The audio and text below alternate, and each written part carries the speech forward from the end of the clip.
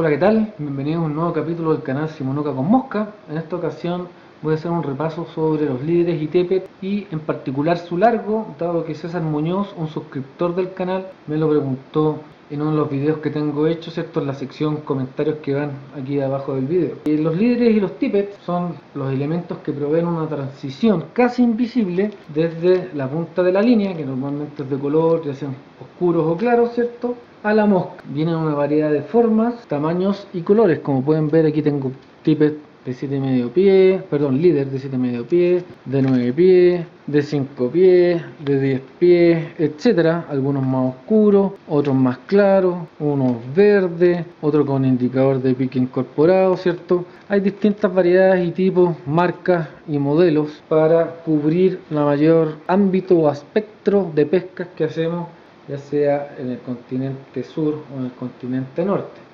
Hay algunos líderes especiales que no los voy a tocar en esta oportunidad, que al final del líder tienen un pedazo de alambre que son para pescar especies como el dorado, ¿cierto? que tienen dientes que cortan muy fácilmente el tiro. Entonces, el objetivo principal de un líder, aquí tengo uno, es conectar la línea, como les explicaba hace un rato, con un material que no asuste a los peces o una coloración. Esto primero que es más delgado, segundo que la transidad que permite esto en el agua Así que se vea menos. Y el segundo objetivo principal es continuar con la transmisión de energía que va desde la caña a la línea, al líder, al tippet y a la mosca para que el conjunto caiga de una manera estirada o lo más estirada posible sobre la superficie del agua en donde presentamos nuestra mosca. Entonces, la diferencia, ¿cuál es la diferencia entre tippet y líder? Como pueden apreciar aquí, les mostré varias estuches Aquí tengo, normalmente los, los tippets vienen en bobina y la diferencia principal es que el líder es un elemento, actualmente lo venden hecho, ¿cierto? Un elemento que parte en su parte trasera bastante grueso para terminar en la punta bastante delgado. No sé si se alcanza a apreciar la diferencia ahí, pero tiene una, si lo podemos ampliar, lo pudiéramos ampliar, sería como un látigo, parte grueso y termina delgado. Y aquí es donde está la diferencia porque en la punta es donde se ata el tippet y el tippet a diferencia de ser un elemento que va desde grueso a delgado es un elemento que es uniforme a todo su largo entonces el tippet es el pedazo de monofilamento que se adhiere al final del líder. Hay algunas ventajas porque usa tippet, ya lo voy a mencionar. Lo que sí quiero comentarles antes de seguir es que voy a referirme al largo del líder como el largo completo entre el líder y el tippet a la vez. Ya les voy a explicar más adelante por qué, pero de ahora en adelante quedemos con esa convención. El tippet entonces es el pedazo monofilamento que se agrega al líder en la punta donde se conecta al final a la mosca. Por un lado entonces va al líder el tipper y por otro lado es donde se ata la mosca. Idealmente en cualquier pesca para tener éxito es tratar de utilizar el tippet y o líder más delgado posible para evitar que sea visto por el pez por un lado pero lo suficientemente grueso para que cuando tenga una pelea con ese pez no cortarlo fácilmente y por lo tanto hacer una pelea lo más rápida posible para dañar lo menos posible al pez. La otra ventaja de utilizar tippet es que en la medida que yo voy cambiando moscas a lo largo de mi jornada de pesca tengo que ir cortando los nudos y eso va haciendo que se vaya acortando, acortando hasta que finalmente vamos a llegar a la punta del líder. Eso nos permite cortar ese pedacito y volver a agregar otro pedazo de tippet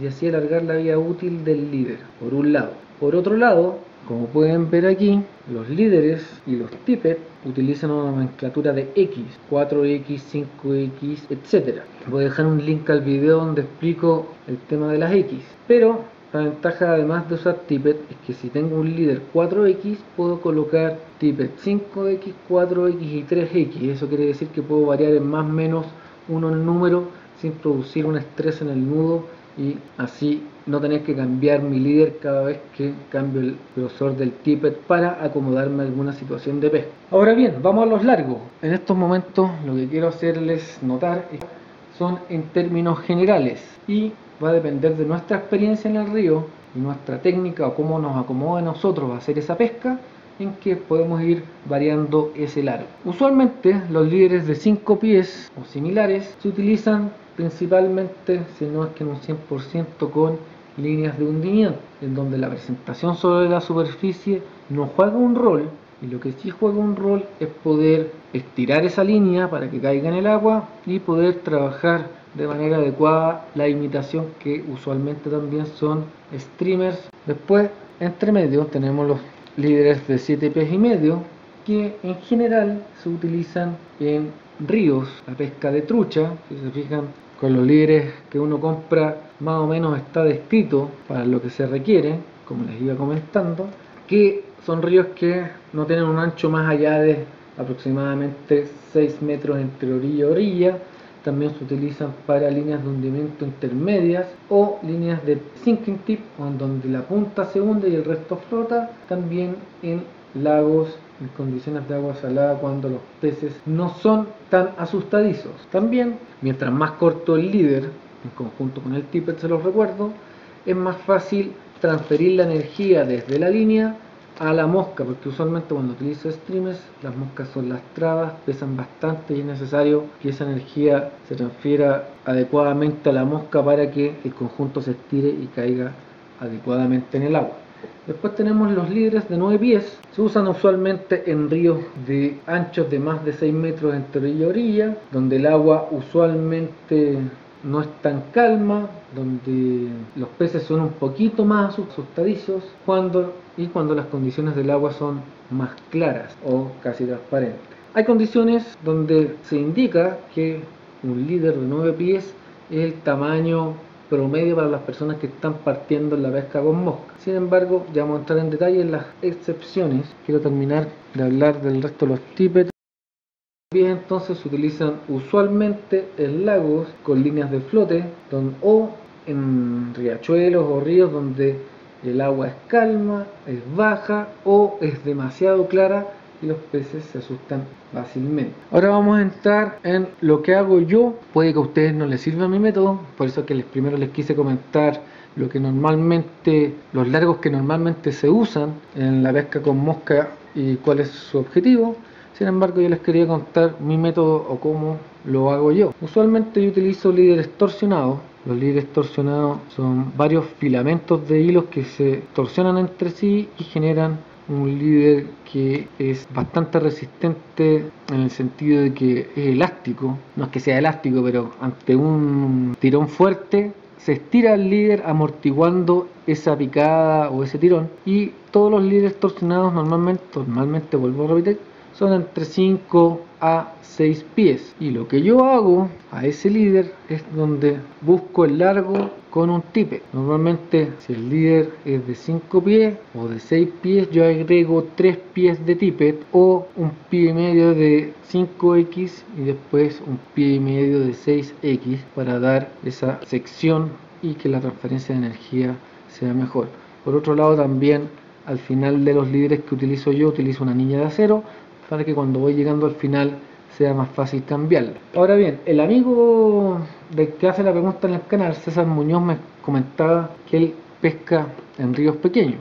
Bueno, en ríos pequeños yo sigo utilizando un líder de 6 pies en donde agrego aproximadamente un tippet de 2 pies. Y aquí vienen algunos truquitos, si es que llegaron a esta parte del vídeo, que les voy a explicar más o menos qué es lo que uno hace normalmente dependiendo de ciertas condiciones de pesca. Cuando uno ve que la trucha está subiendo a comer, si estoy pescando con mosca seca, hago la presentación de la mosca y estoy seguro que estoy en el tamaño, la forma y el color adecuados, y no logro un pique, lo que uno hace primero es extender el largo del tippet para conseguir una deriva libre por más tiempo por un lado, y por otro lado, si es que eso sigue sin funcionar, uno baja una X en el tippet y pasa de, por ejemplo, de un 5X a un 6X. Y normalmente eso hace la diferencia y finalmente la trucha pica. Ahora, para terminar de contestarle la pregunta al colega, para ríos pequeños, como les decía, normalmente utilizo un líder de 6 pies con un tippet de 2 pies más o menos. A veces a, largo, como les, decía, pongo un tippet más delgado si no consigo un piquet con el actual y en ese caso no lo cambio, sino que lo agrego en la punta